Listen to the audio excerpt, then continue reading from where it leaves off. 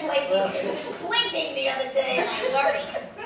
You know, I had a friend who went blind from a piece of glass that was in their eye. They figured, oh, it's nothing, it'll come out. Yeah, well, guess what came out? Their eye came out, that's what came out. So have that checked. And another thing, I noticed you let your son watch that Barney. Be careful. Barney teaches children to share. Share what? Their toys. Notice who is sponsoring the show, Anyway, I like seeing animals talk.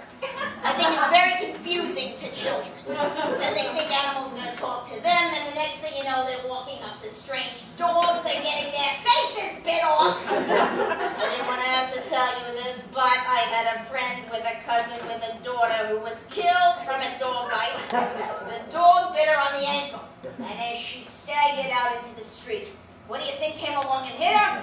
A milk truck! That's why I don't do dairy. Anyway, I worry the way you let your children be with animals. Let the dog lick the baby right mouth. Do you know where that dog's mouth has been? That dog licks his own ass. I'm not surprised your kid had a cold. I'm surprised he hasn't had rabies yet. Speaking of crazy, what are you using in your hair lately just for men? It's ridiculous. You look like your old dressy Bessy doll with the orange hair. Get your roots done by a profession.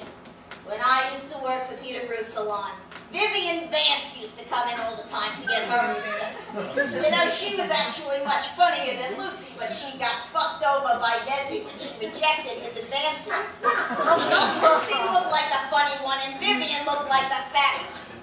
Don't let that happen to you. If a big producer wants to screw you, let him. Because in the end,